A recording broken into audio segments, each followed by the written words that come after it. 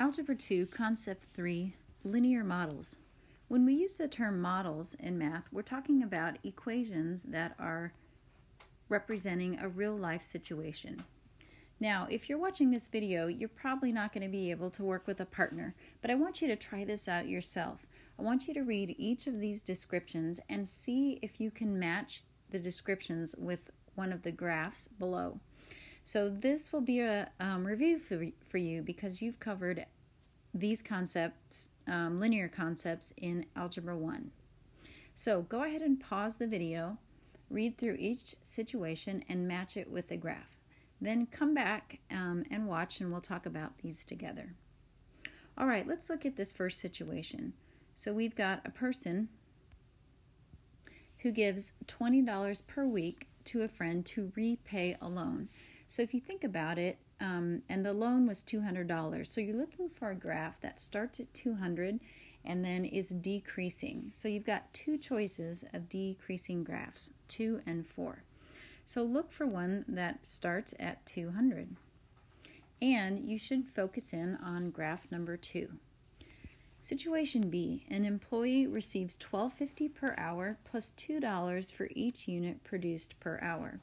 So perhaps you're looking for a graph that shows a starting amount of 1250 and then an increase of 2 for each one unit produced.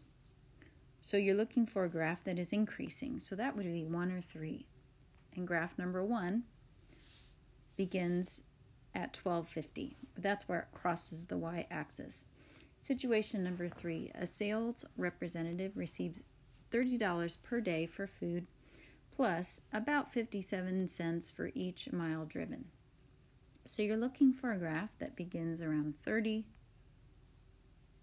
and then increases. So that would be graph B. And then last one, D, is going to be graph number four. So again, you've got a computer that is worth um, 750, but it's depreciating, so it's decreasing, like our first situation. So that would be graph number four. All right, now in this part of our um, concept three, our linear notes, we're going to look at situations that can be modeled using um, a linear function. Let's just review linear functions. So y equals mx plus b. Hopefully you remember that this is what we call slope-intercept form. And the reason is, is because at a glance, we can see the slope of the line, which is how the line is slanting. We can also see where the line is crossing the y-intercept, or the starting point. X and Y's are used um, typically, those are what we call our variables, and then traditionally, X is our input and Y is our output. M is our slope. So a slope is a rate of change. To find a slope, one way you can do it is using two points. You can take one y value and subtract the other, so that shows you the difference in rise. And then you can take one x value and subtract the other, and that shows you the difference in run, rise over run. And in a real life situation, slope is our rate of change in the situation. And then B is our y intercept on the graph, and in a real life situation, it will be our starting amount. So here's some easy steps to write an equation of a line. Look at the situation, um, pick out two points, you know, x and y relationships, and then find the slope, the, the rate of change. Look at the y-intercept, find it. You can do that using the slope-intercept um, equation and plugging in a point and the slope and solving for b and then use the slope and the y-intercept values to write an equation of the line um, or the equation that would model the situation. So let's just try this. Let's write um, the equation of these lines. We're going to find the slope, the y-intercept, and write the equation. From the graph, sometimes on a graph you can just count. You can say how many up uh, compared to how many over from one point to the next to find the slope. But you can always pick out two points, and then do our slope formula.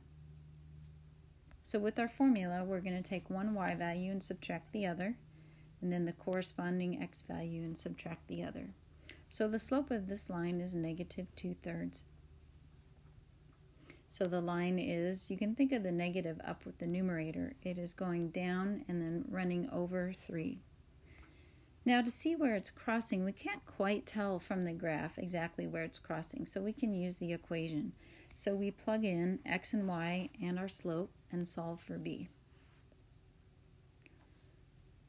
So 6 thirds minus 4 thirds is 2 thirds. That would be difficult for us to eyeball. So we now we know where it's crossing exactly. So we can write the equation that y equals negative 2 thirds x plus 2 thirds. Sometimes you won't have a graph of a line, just two points. So again, you can find the slope. So difference in y values over difference in x values. So we get negative 16 over positive 5. And it's just fine to leave slope as a fraction. We plug in a point, x and y, and the slope, and solve for our b value.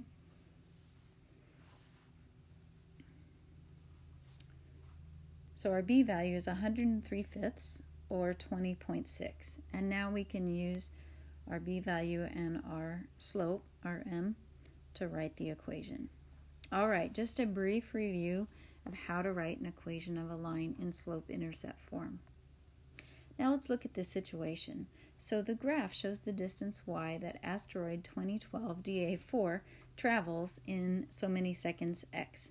Write an equation of the line and interpret the slope. We'll talk about that. Then the asteroid came within 17,200 miles of Earth in February of 2013.